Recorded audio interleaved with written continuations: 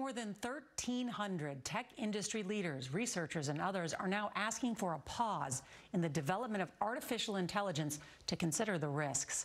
Twitter and Tesla CEO Elon Musk and Apple co-founder Steve Wozniak are among those who signed a letter calling for a six-month break in the race to develop more powerful AI.